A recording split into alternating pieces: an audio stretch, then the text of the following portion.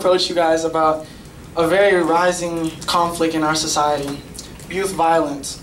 Now, you know, I understand that most of you have friends in this very school, you know, and I'm pretty sure that each and every one of them, and us as well, get angry. See, the thing about youth violence is that it's not just happening around us, but also within the very places that we go every single day. You know, we go to school, some of us even go to work. You know, even if it happens in our houses, we all go, you know, we always see that people get angry and they tend to release it in violence. You know, after doing some research, I've come to find out that many, many things can lead up to youth violence. Here are some examples. Home environments, for example. A lot of teenagers nowadays have broken home environments. A lot of teens go through depression.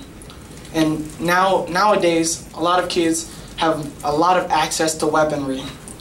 And also media. Negative media leads to a negative, posi- a negative lifestyle and peer pressure learning difficulties, health problems, lack of guidance, and attention seeking.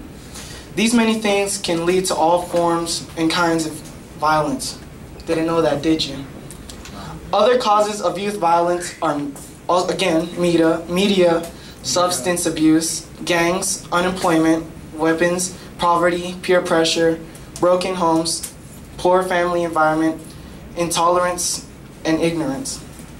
Didn't know that, did you? see, see, the problem, see, the problem is that many young people are getting hurt or even losing their lives at such a young age, and yet they have their whole lives ahead of them. And youth violence also has an everlasting, an everlasting impact on a person's mind.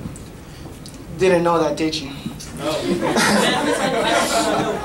See, I'm a victim of youth violence myself. I've had anger issues in the past, but I've learned them learned to control them through, you know, football and because of many reasons. And these reasons may also help, you know, other struggling teens out there as well. These solution the solutions to stopping or even just preventing youth violence are good parenting, less access to weapons, bringing or bonding families together. Now, do you know what we can do together us youths in school to prevent this? We can start youth violent, violence prevention programs. We can create more after school activities and clubs so that we can occupy the, the time of most of the young people in this school. Hallelujah. we have to take time to talk to a friend or to a couple of struggling teens to see how it would feel if we were in their shoes. Okay. We have to be a good example and we also have to continue to show them positive media so that they can live a positive lifestyle.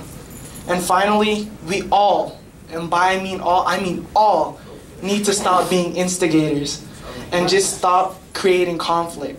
Amen. Thank you for your time and full cooperation.